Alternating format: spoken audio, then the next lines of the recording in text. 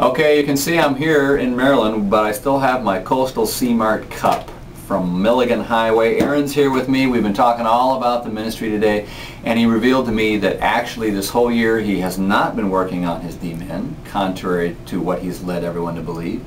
He's actually been going full-time into his blog ministry and wants to spend more time on that, and I thought I should just be the first to let you know that. Things are going great here at Mountain, and uh, we feel uh, kindred spirit with you all down there at Grandview, and uh, I actually I'm coming to town. I'll see everybody next week. I'm going to be there at Emmanuel. See you. Bye.